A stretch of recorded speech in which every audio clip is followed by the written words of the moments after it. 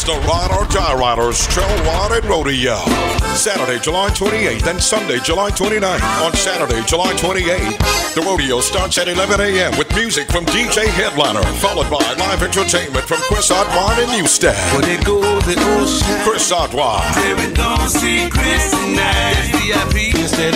On Sunday, July 29th, On my the Trail Ride leaves at 1 p.m. with Ess Dot performing live on the ride. You from behind, but take a. Followed by Jeremy and the Zydeco Hot Boys. Gotta find me a bone song for Jeremy. You, baby, you ought to see my And Lil Nate and the Zydeco Big Timers.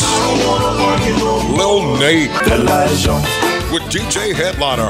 It's going to be lit at the Yambilee Arena, 1939 West Landry Street in Opelousas. Call Dwayne 337-298-6717 for more information. It's an All About Us Trail Association presentation.